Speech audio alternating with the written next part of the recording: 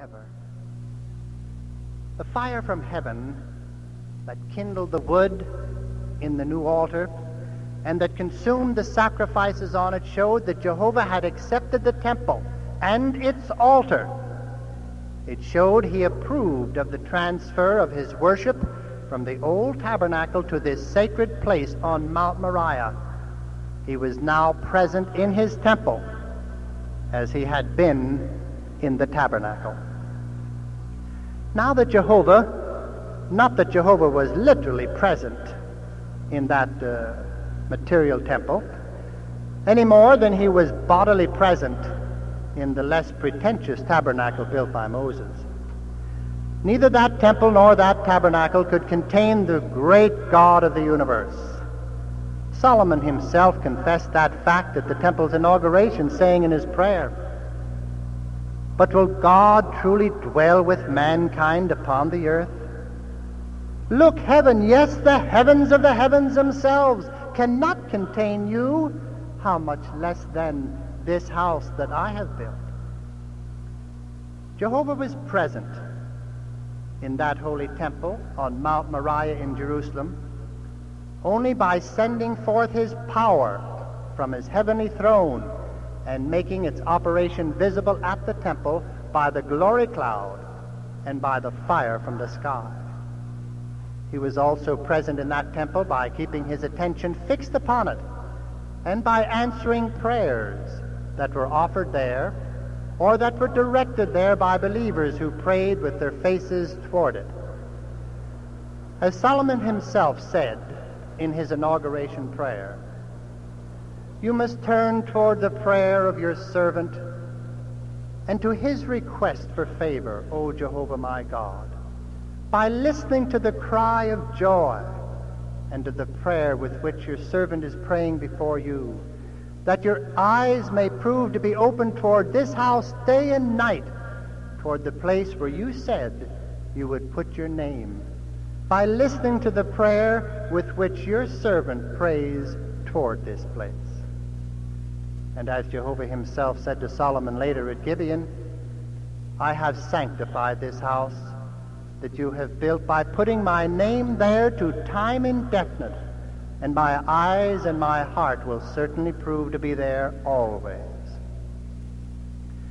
The time came when Jehovah withdrew his presence from that temple of Solomon because the priests and Levites willfully kept on polluting the covenant of Levi, and the nation of Israel broke, uh, broke all the laws of Jehovah's covenant with them. With his presence gone, that temple became subject to destruction by the Babylonian armies in 607 before Christ. And some survivors of the temple polluting nation were carried off captive to Babylon. Seventy years later, because a faithful remnant prayed toward the location of the former temple at Jerusalem and showed a heartfelt desire to renew the pure worship there, Jehovah delivered them from captivity to Babylon. He brought them back to Judah and Jerusalem to rebuild the temple and restore divine worship there in its purity. Under governor Zerubbabel and high priest Jeshua, the temple and its altar were rebuilt and Jehovah's worship was renewed on its own old site. That temple built by the repentant and restored remnant proved to be not nearly as glorious outwardly as Solomon's temple.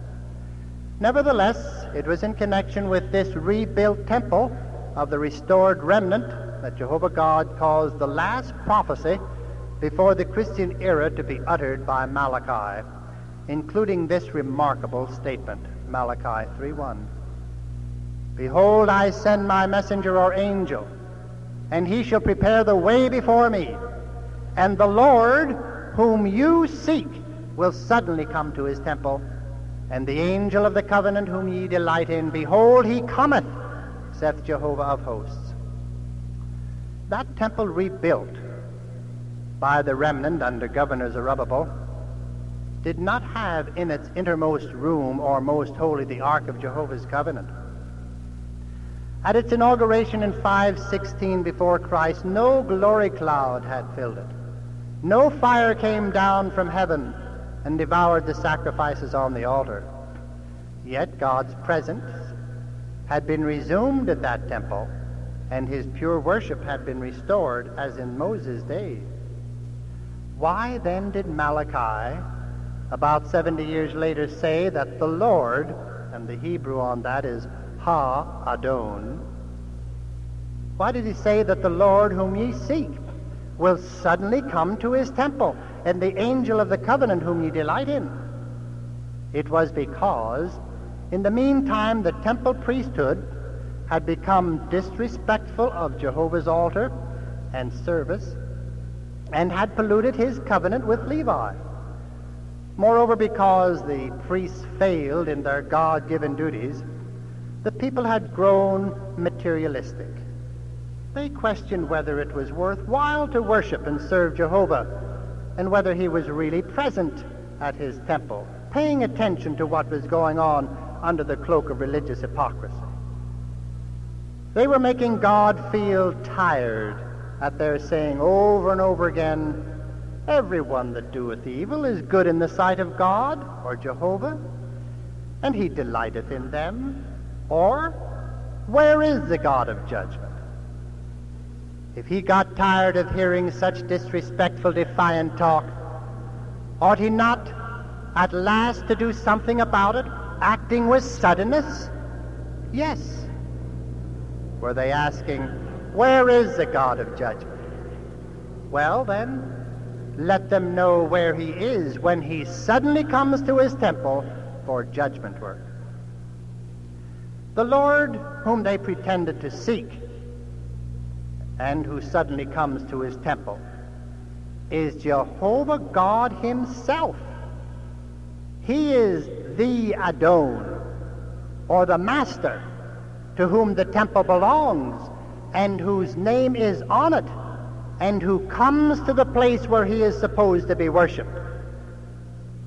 But when he comes this time, he comes not alone but accompanied by the angel of the covenant. Because of the severity of the judgment that would take place after he came with the angel of the covenant, Jehovah promised that he would mercifully send his messenger, and this one would prepare the way before him. If conditions were not prepared among his temple worshippers before his arrival at the temple, then the entire nation would be in danger of being wiped out like Sodom and Gomorrah, baptized by fire from heaven. This prophecy of the Lord Jehovah's coming to his temple with his angel of the covenant was not fulfilled upon Zerubbabel's temple. However, Zerubbabel's temple was replaced by a grander temple built by the Edomite Herod the Great when he became king over Judah and Jerusalem by Rome's decree. Upon this temple, a fulfillment of Malachi's prophecy did come, and that with a special foreshadowing of events of our own day in this 20th century. Jesus Christ himself pointed out whom the preparatory messenger was in his time, namely John the Baptist who had finished his work and who was then in prison, soon to be beheaded. Quoting from the scripture This is he concerning whom it is written, Here I am sending forth my messenger before you to prepare your way ahead of you. John began his preaching and baptizing about six months in advance of Jesus and prepared a small remnant of Israelites to receive him. That fact did not mean that Jesus was the Lord who suddenly comes to his temple. Jesus is not Jehovah, the Lord of the temple. He is Jehovah's angel of the covenant who accompanies him to the temple. And that covenant is the covenant that Jehovah made with faithful Abraham, saying, By means of your seed or offspring, all nations of the earth will certainly bless themselves. Since the preparatory messenger had come, it was therefore in Jesus' day that the Lord Jehovah was to come suddenly to the temple to show where the God of judgment is. Now that the Lord Jehovah, not that the Lord Jehovah had to come personally and visibly to the temple, any more so than he came visibly to the tabernacle in the wilderness at Mount Sinai or visibly to Solomon's temple at Jerusalem.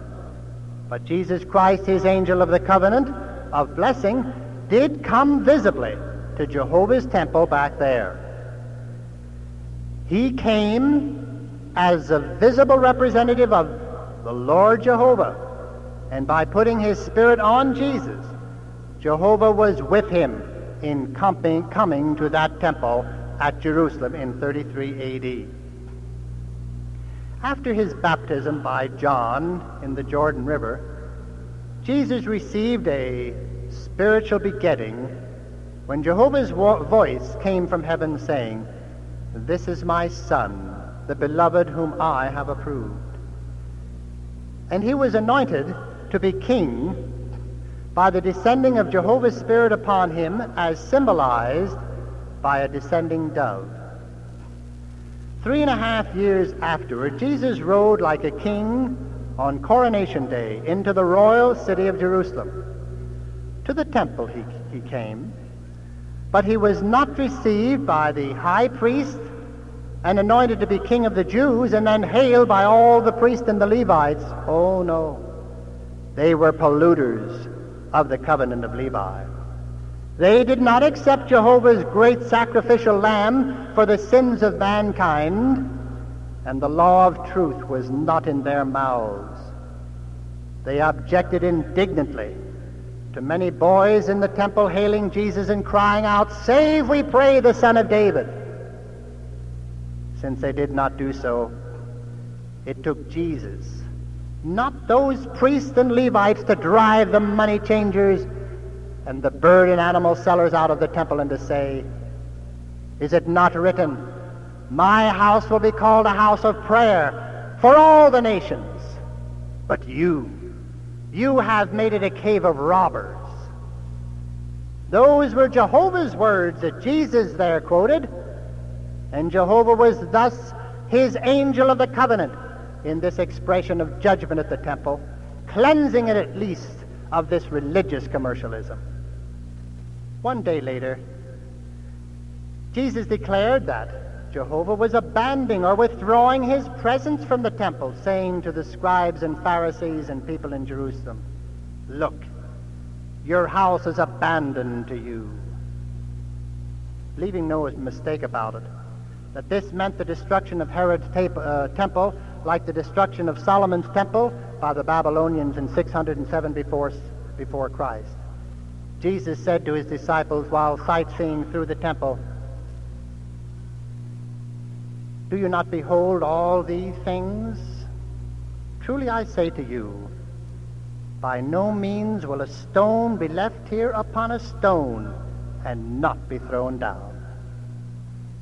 Two days later, the priestly polluters of the covenant of Levi in effect said, Where is the God of judgment?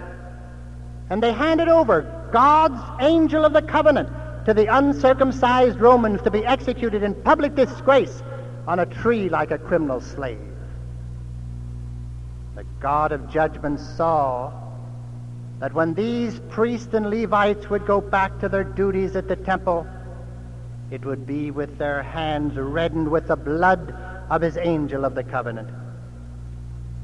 So when his dying angel of the covenant gasped out his last words, It has been accomplished.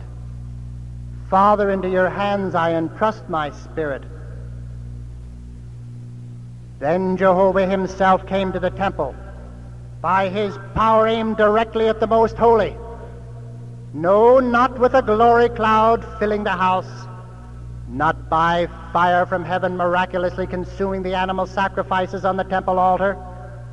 No, but by causing the earth under the temple city to quake and the rock masses to be split, and by hiding the sun from shining on the temple, and by ripping the curtain of the sanctuary down the middle, rendering it like tissue paper from its 30 foot height down to its bottom, although it was a double curtain of inches thick. There, Jehovah God, coming to his temple, exposed the innermost room as being bare of the Ark of the Covenant. 37 years more.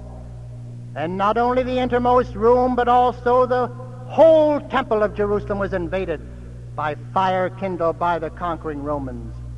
And the building was razed to the ground, not a stone being left upon a stone, in fulfillment of Jesus' word. The 97,000 Jewish survivors of the four month siege of Jerusalem were led captive into all the nations. The, the city was demolished. The family records of priests and Levites and royal families were destroyed and lost. And the natural Jews throughout the earth were left without a temple and an acting, identifiable priesthood. In truth, their sacred house had been abandoned to them by Jehovah God. But was Jehovah left without a temple? Could he never more be present in his holy temple? No. For he had replaced the perishable material temple on Mount Moriah in Jerusalem with an enduring spiritual temple. On the third day after he ripped the sanctuary curtain from top to bottom, Jehovah God raised up the foundation cornerstone of his spiritual temple. How? God Almighty did this by resurrecting his Son, his angel of the covenant, from the dead to life and in the heavens. In accord with his sworn oath, Jehovah raised him up as a royal priest like Melchizedek, but having the divine nature. Because of the human sacrifice that he had laid down as such a priest, Jesus Christ was now Jehovah's royal high priest, possessing the merit of a sacrifice by means of which he could make atonement for mankind's sins and act as a mediator between God and men. By means of Holy Spirit, Jehovah God dwelt in Jesus, the living foundation cornerstone of the spiritual temple of God. No longer needed the dead stone material temple at Jerusalem he had his son as the foundation cornerstone. Forty days from then, Jesus Christ ascended to his Father's heavenly throne, taking along the life value of his human sacrifice. Jehovah God accepted it and also laid his high priest on the heavenly Mount Moriah on Mount Zion as the precious foundation cornerstone. Since the glorified Jesus was merely the foundation cornerstone, it is manifest that Jehovah God did not purpose to use Jesus alone as his living spiritual temple. So on the day of Pentecost, just 10 days afterward, Jehovah began to rear his spiritual temple upon Jesus, the living foundation cornerstone. He used Jesus, the high priest, to do the building of his spiritual house as, the as an antitypical Solomon.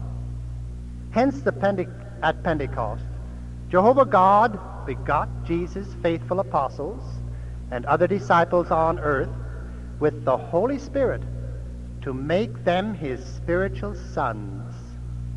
Then through Jesus, he poured out his Holy Spirit upon them to anoint them as members of a royal priesthood under Jesus Christ the high priest. He made them living stones to be laid upon Jesus, the foundation cornerstone. Hence the Apostle Peter says to all anointed Christians, coming to him as to a living stone, rejected, as it is true by men, but chosen, precious with God. You yourselves also, as living stones, are being built up a spiritual house for the purpose of a holy priesthood to offer up spiritual sacrifices acceptable to God through Jesus Christ. For it is contained in Scripture, Look, I am laying in Zion a stone chosen, a foundation cornerstone precious. You are a chosen race, a royal priesthood, a holy nation, a people for special purpose, that you should declare abroad the excellencies of the one that called you out of darkness into his wonderful light. So, from the day of Pentecost forward, Jehovah has been dwelling in his holy spiritual temple of living stones. Through the Apostle Paul, he says to those priestly Christians, Do you not know that you people are God's temple and that the Spirit of God dwells in you? Christ Jesus himself is a foundation cornerstone. In union with him, the whole building being harmoniously joined together is growing into the holy temple of Jehovah. In union with him, you too are being built up together into a palace for God to inhabit and to dwell. By the end of the first century, Christ's twelve apostles had died. Soon the building and growth of that spiritual temple was lost to view because of falling away from the pure temple faith. It came to be as when the Jews were captive in Babylon, while Jerusalem was in ruin, and Jehovah had no temple on earth in which to dwell by his Spirit. Of course, Jehovah has always dwelt in the temple's foundation, cornerstone, Jesus Christ, in heaven by means of his Spirit, but the living stones on earth were long lost to view and practically unidentifiable. But shortly after 1870, or about 80 years ago, they began to come to view again. For these truths of the spiritual temple began to be recovered and applied to, and God's Spirit was seen in action for producing the final remnant of the 144,000 living stones of the spiritual house. The modern history of Jehovah's Witnesses published in the columns of the Watchtower since the beginning of 1955 gives us details on this.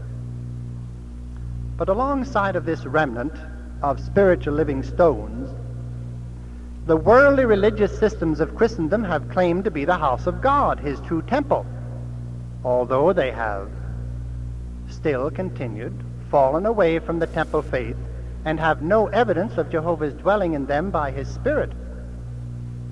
They were trying or wearing Jehovah God by their religious talk, saying that evildoers were good and delightsome in God's sight.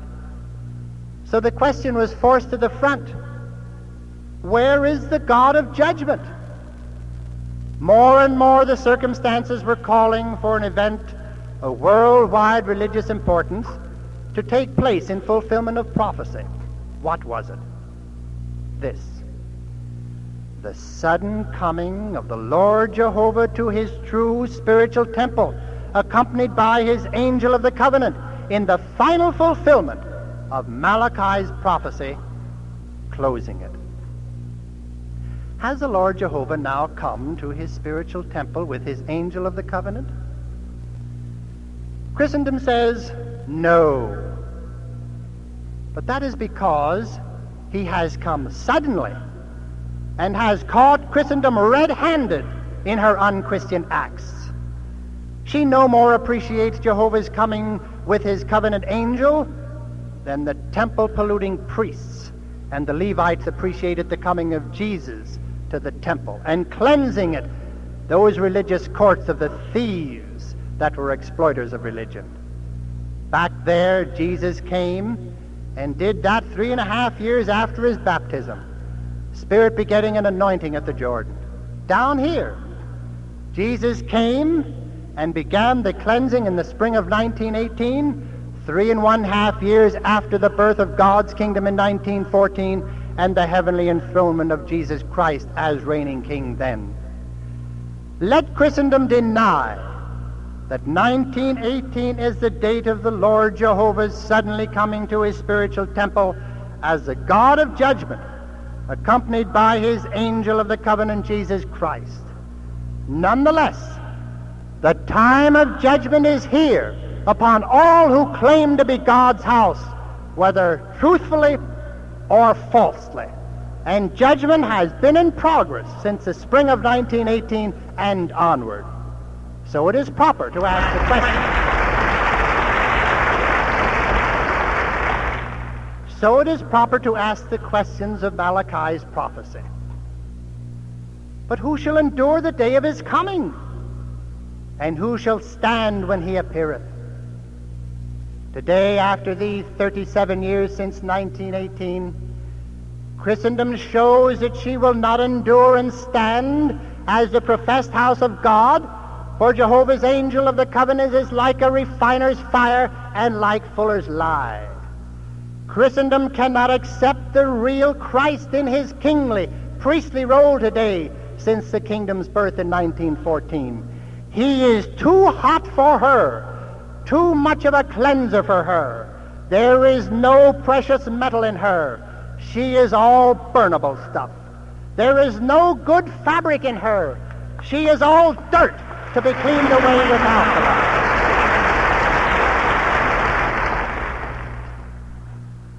At Armageddon, the execution of the Lord Jehovah's judgment from his true spiritual temple will bring all of that to light. But who is it that has been able to face this day of his coming to the temple with his covenant angel and to endure it? It is those who have sincerely been seeking Jehovah. It is those who truly delight in his angel of the covenant and love his appearing.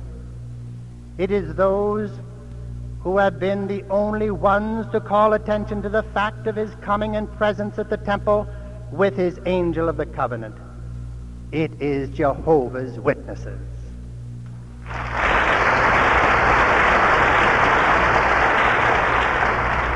These are the ones that have shown a willingness to subject themselves to Jehovah's judgments through Christ no matter how fiery, no matter how bleaching, and to endure a cleansing and a cleaning up of their doctrine, their organization, and their activity.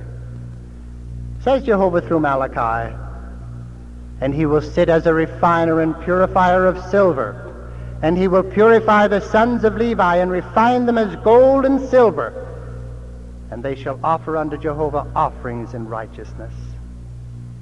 The ancient sons of Levi were temple servants and guardians and offerers of the sacrifices.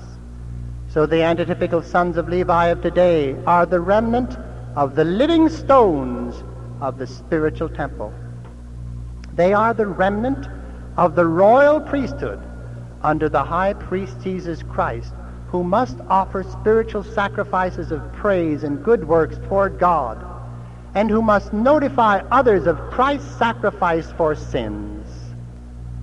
Until the Lord's coming with his covenant angel to the temple in 1918, there was considerable faultiness about their spiritual sacrifices, which was not worthy of God's altar, and their organization was not altogether clean.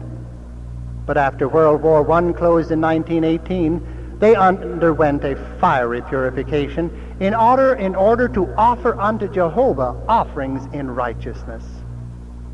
All the world has now become aware of their offering spiritual sacrifices in righteousness since 1918. From the greatest offering by this remnant and antitypical sons of Levi has been their preaching, their obedience to the prophet, to the prophetic command that Jesus set forth in Matthew 24 14. They have been devoted to Jehovah God in the preaching of this good news of God's established kingdom since 1914. And this has pleased Jehovah. To all the inhabited earth, they have endeavored to extend this preaching for a witness to all the nations before Satan's kingdom ends completely at the Battle of Armageddon. Within 30 years, time, since 1918, the angel refiner at the temple has fierily refined the preaching organization to make it theocratic in its structure and its way of operation. As a result, the remnant has returned to the apostolic way, the days of old, as in ancient years, all of which is very pleasant unto Jehovah God. Sad to relate, during World War I, the priestly remnant, the antitypical sons of Levi, were guilty of corrupting the covenant of Levi by a defiling compromise with this world so that Jehovah was angry with them. But since 1919, the angel refiner of the temple has purified them to be like precious metals. He has delivered them from worldly Babylon and ordered them to be bearers of vessels of Jehovah no more to touch the unclean things of Babylon. They have since realized that the covenant of Levi calls for them to be the messengers of Jehovah of hosts, to keep knowledge upon their lips, to hold the law of truth in their mouth, to walk with God in peace and uprightness, and to turn away from iniquity. To do this, they realize that they had to be witnesses of Jehovah and to proclaim the kingdom truths. In recognition of that fact, they courageously embraced in 1931 the name Jehovah's Witnesses. They know now that the covenant of Levi calls for a clean priesthood, one that approves of no fornication or adultery, either spiritual or physically, a priesthood rendering exclusive devotion to God, and proving this by keeping his worship of the temple pure and clean and unhypocritical. Like the landless Levites of old, they know that Jehovah is their inheritance and that their hope is the heavenly kingdom, and so they must keep their minds fixed on the things above, hence with all conscientiousness they now try to keep the covenant of Levi. They insist on maintaining right worship in the New World society. To purify his people, Jehovah God tells us the things that he will be against when he comes and is present in his holy temple for judgment and for a purge of religion.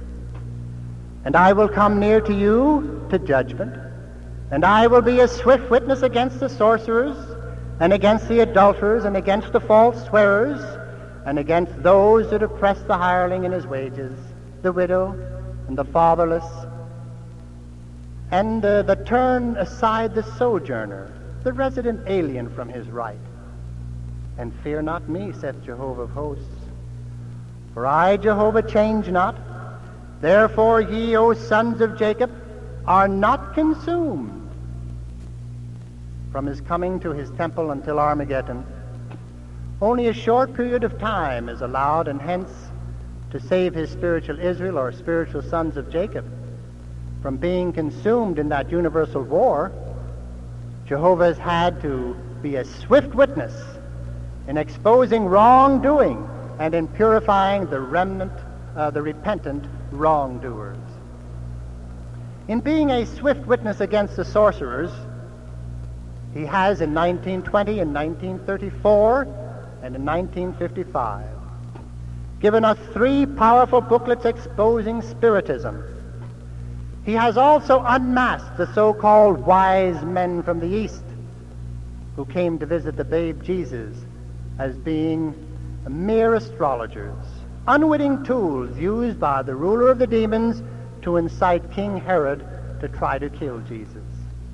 He has also exposed the Great Pyramid of Giza as being not God's stone witness or the Bible in stone, but a monument of demonism to glorify belief in immortality of the soul or survival after death.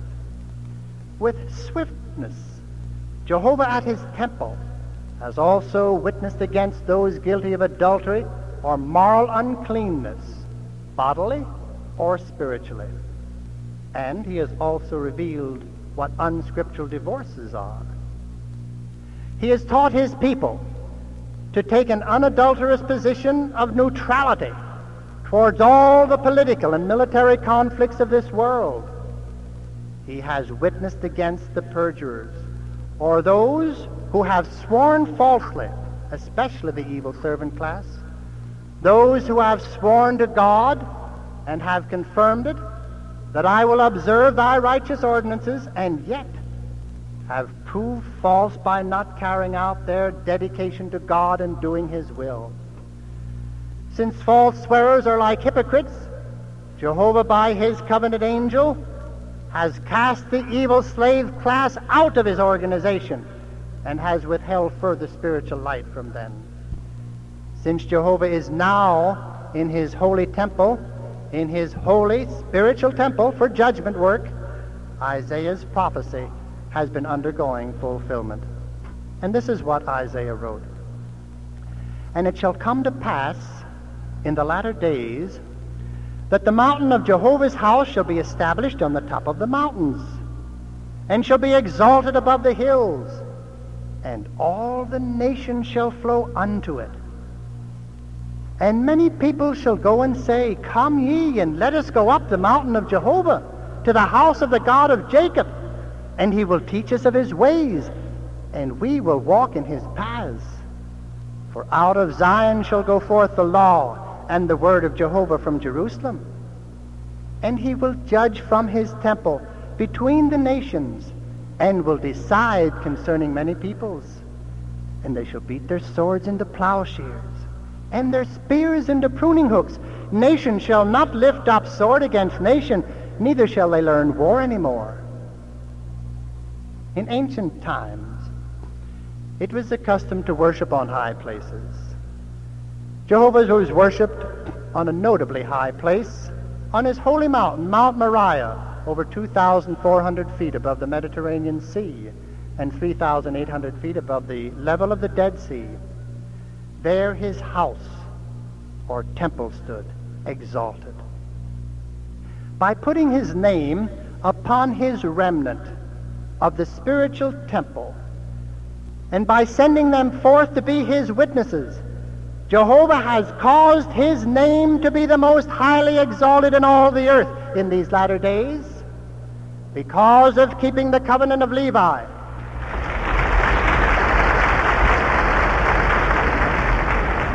Because of keeping the covenant of Levi and rendering exclusive devotion to Jehovah, the temple remnant have put his purified worship supreme over everything else, specializing upon it as being of first importance according to their priestly obligations. No nation, no government has the right to interfere with it. And in a conflict between worshiping Jehovah and obeying human rulers who oppose him, the temple remnant put Jehovah's worship on top and firmly keep their service place in his temple, giving first to God what belongs to God. They have refused to quit offering their spiritual sacrifices of praising God and preaching the good news of his established triumphant kingdom, and they'll never stop.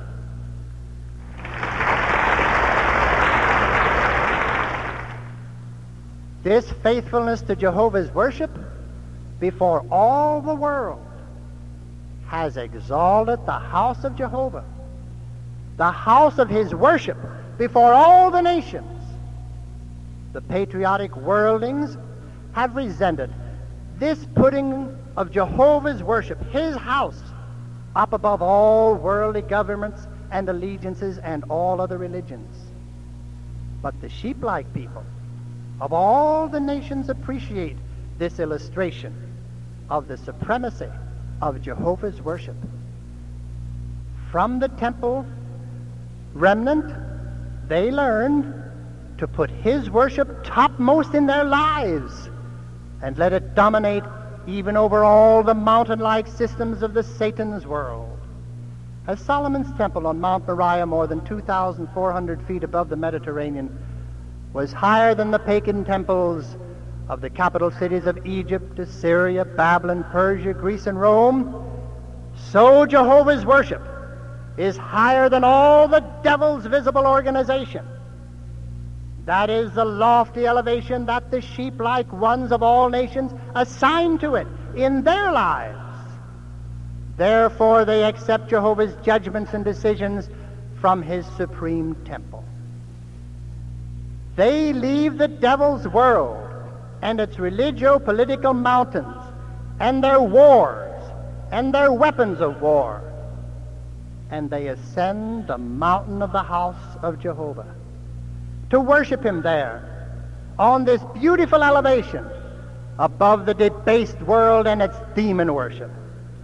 They try to measure up to the high requirements of his worship. They dedicate themselves to him through his high priest, Jesus Christ. They recognize that their obligation to worship him at his house is higher than all allegiances to the mountain-like powers of this doomed old world. Are you a member of the remnant? Then do not think that since these other sheep are not spiritual Israelites with a heavenly inheritance, they have no right to enter the court of the spiritual temple to worship Jehovah through his high priest, Christ Jesus. Or are you an antitypical foreigner from a distant country? Then do not think that because you are not of the remnant, you must be separated from Jehovah's Witnesses and cannot be given recognition among the New World Society, even if you join yourself to Jehovah in dedication.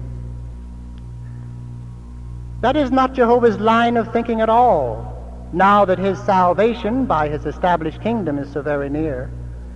Says Jehovah concerning all the other sheep-like ones today who come from all the nations foreign to spiritual Israel. Neither let the foreigner that hath joined himself to Jehovah speak, saying, Jehovah will surely separate me from his people. Also the foreigners that join themselves to Jehovah to minister unto him and to love the name of Jehovah, to be his servants, every one that keepeth the Sabbath from profaning it, and holdeth fast my covenant, even them will I bring to my holy mountain, on the top of which the temple is, and make them joyful in my house of prayer. Their burnt offerings and their sacrifices will be accepted upon mine altar. For my house shall be called a house of prayer for all peoples. The Lord Jehovah, who gathers the outcasts of Israel, saith, Yet will I gather others to him besides his own that he has gathered. From 1919 on down to particularly 1931, Jehovah gathered the remnant, the spiritual Israelites, who were outcasts in bondage to the Babylonish world. Since then, he has been gathering others to himself at his temple besides his own Israelite remnant, which has been gathered. He has been doing the gathering of these others because he wants them there at the temple. Who has up till now been able to hinder Jehovah God from gathering them? The evil servant class? Christendom's clergy and their flock? Political dictators? Radical governments? Totalitarian governments or other political powers of this world? Satan, the devil, and his demons? No, none of them. But today, the active membership of the New World Society at Jehovah's Temple has swelled to 608,565 witnesses around the 16,691 of the temple remnant, making a grand total of 625,256 dedicated ministers preaching this good news of the kingdom in all the world for a witness.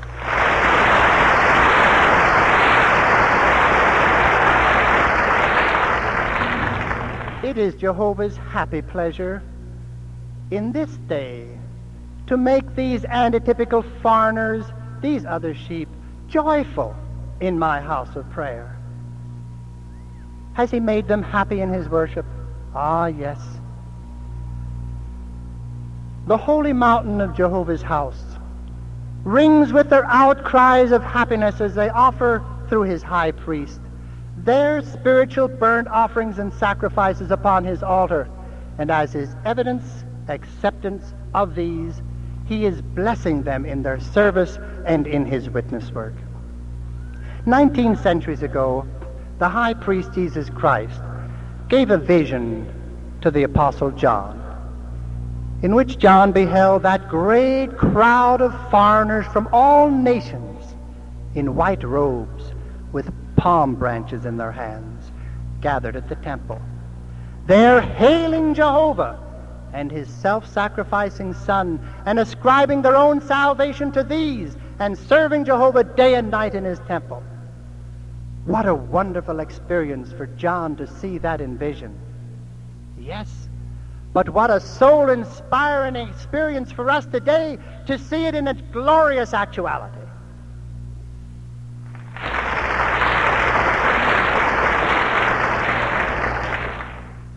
Still exercising divine patience for salvation of sheep like people.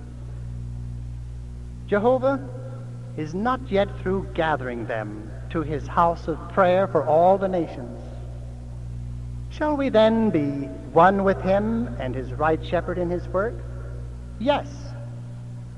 By working together with him, by keeping on preaching the good news of the triumphant kingdom and carrying on all the educational work by which the sheep ones can gather can be gathered and this work be accomplished in its completion.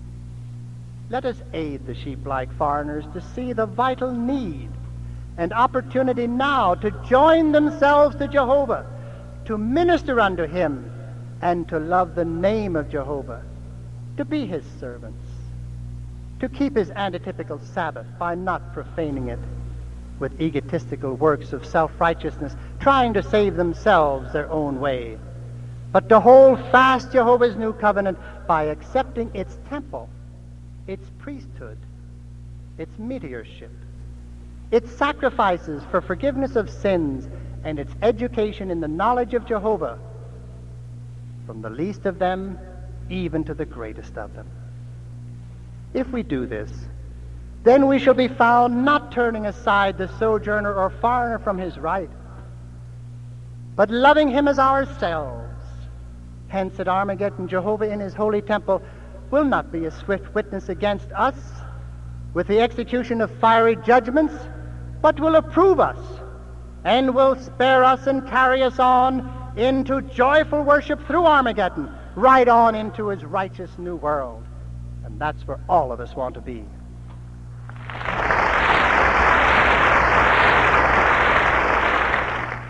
To make all the sheep-like foreigners still more joyful in his house of prayer, Jehovah has provided another aid to worship him. This new book entitled, You May Survive Armageddon into God's New World.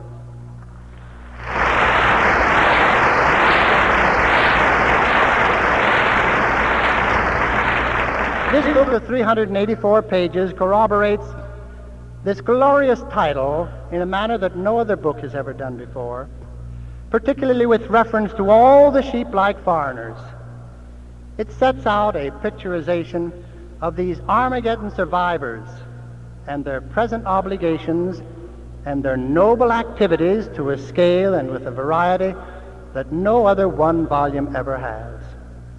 The very title of the book is not only an assurance of a grand opportunity, but also an invitation to the beholder to take advantage of this opportunity to survive Jehovah's coming expression of judgment from his temple and to enter the portals of his new world. Showing a person how to do something is really an invitation for him to do it. May all of you procure a copy of this book and not only broaden your own understanding on how to make possible your own survival by Jehovah's undeserved kindness through Christ, but also extend the invitation to others to experience this survival by putting this book in their hands and then helping them to study it with their copies of their own Bible. This book, You May Survive Armageddon into God's New World, you can get this afternoon from the ushers after this meeting is dismissed on a contribution of 50 cents. All of the pioneers and brothers from other countries who are missionaries or branch servants can also get a copy of this book free by going to the book room. I'm sure that every one of the 35,753 here this afternoon are going to enjoy this immensely.